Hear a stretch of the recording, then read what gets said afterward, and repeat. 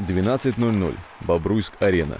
Приезду нашей съемочной группы хоккеисты уже успели разогреться и приступили непосредственно к тренировке. За процессом внимательно следит главком Владимир Синицын, который вернулся на тренерский мостик в конце января. Напомним, Владимир Геннадьевич был на больничном, исполняющим обязанности был назначен тренер местной дюш Павел Александрович. Под его руководством команда провела 6 матчей, в которых одержала 4 победы, набрав 12 очков из 18 возможных. Но теперь болезнь позади, и специалист приступил к своим прямым обязанностям. Александрович также находится в штабе, но уже в роли роли ассистента. 3 в 3.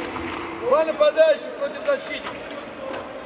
Отработка действий в защите и нападении, броски по воротам. Тренировка выстроена так, чтобы хоккеисты отрабатывали те приемы, которые необходимы будут уже в игре. На льду царит рабочая атмосфера. Все внимательно слушают задачи помощника главкома. Будут делать, вы защитника сопровождаете, не даете защитникам открыться тоже.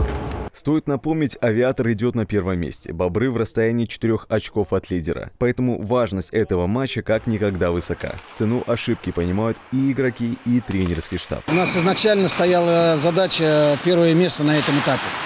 Поэтому каждую игру надо доказывать и стараться выполнить задачу и выигрывать. Потому что все те команды, которые играют в этой зоне, мы одинаковые. Просто кто как настроится и кто кому больше повезет. Авиатор и Бобруйск схлестнут клюшки 12 февраля в 19.00. Загадывать результат дело неблагодарное, поэтому просто пожелаем нашей команде удачи. Максим Кембель, Андрей Богдан, Бобруйск 360.